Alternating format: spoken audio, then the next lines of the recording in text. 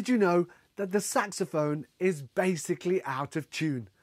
Good old Adolphe Sax, in his wisdom to build an instrument that would cross over the woodwind and brass sections of the orchestra, gave all saxophonists a tuning headache. Later in this video, I'll show you an exercise that almost all professional saxophone players use to master the whole range of the saxophone, including the altissimo range. Now, altissimo, they are the notes above the saxophone's normal range. If you've ever listened to modern players, then you'll almost certainly have experienced these super high notes. Check out Hey Jude by Warren Hill from around two and a half minutes in.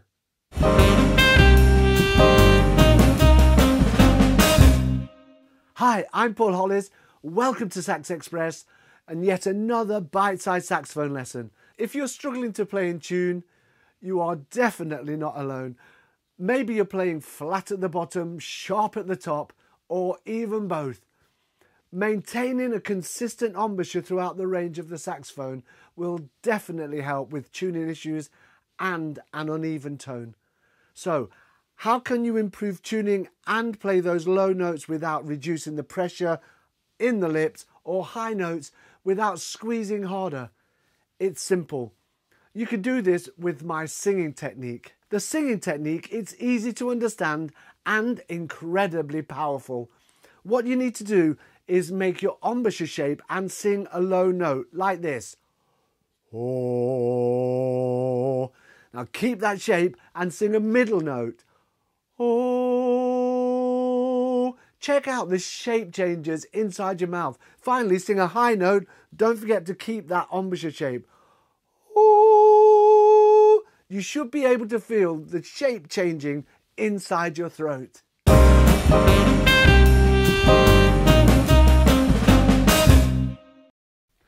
Okay, the trick now is to use this same technique whilst playing the saxophone. And what I mean by that is try making the same shape inside your mouth for singing the pitch of the note you are playing. Let me demonstrate. I'll play a low note.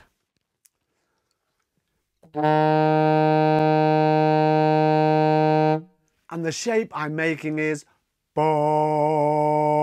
which is the same for singing that low note. Now a middle note.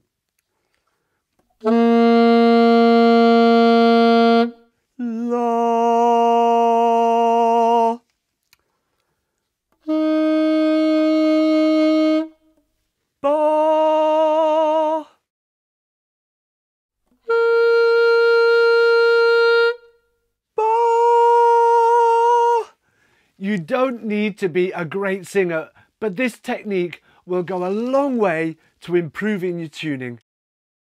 If you practice scales regularly, then it's possible that you are already developing this technique subconsciously. This is because of the small steps within a scale, which will encourage those subtle throat changes as you make your way up and down. Eventually, you will naturally be singing along as you play and almost certainly noticing the improvement in your intonation. For those that don't know, intonation is the tuning within an instrument we can tune the saxophone to a note on the piano, but that doesn't automatically mean that we are playing all of the other notes on the sax in tune. We saxophonists have to work really hard to deliver good intonation. Okay, I mentioned earlier that I would show you another way to improve your control over the whole range of the saxophone. This exercise will be part of the practice schedule of all professionals. It's called the Harmonic Series, but first I'm going to give you a basic lesson in physics. Calm down, I did say basic. Every piece of tubing has a series of notes hidden within it. This is called the harmonic series.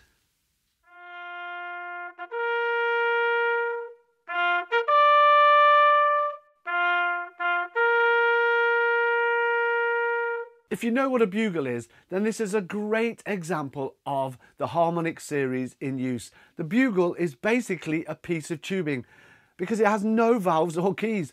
All of the bugle tunes are based on this series. First, let me demonstrate On my flute, if I cover all of the keys, I basically end up with a piece of tubing.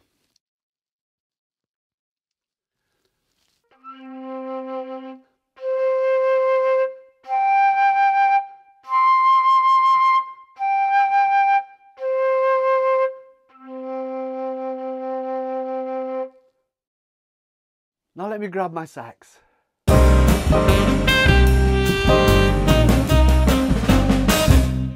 So I'll finger a low B flat, which is to close off all of the pads and effectively give me a curly piece of tubing just like the bugle. Let's see if I can tease out the harmonic series.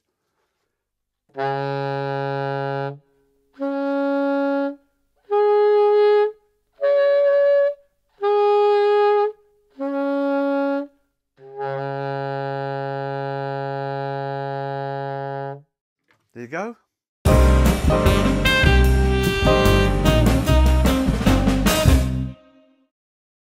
So let's just recap. Maintain a consistent embouchure and make the same shape inside your throat to sing the notes you are playing. And good luck with mastering those harmonics. If you're a little bit geeky and you want to know the intervals of the harmonic series, I've done a separate sheet which is linked in the description below. I hope this video has been of interest and if so, please give it a like and why not subscribe? It doesn't cost anything, but it will help my channel grow. See you on the next one.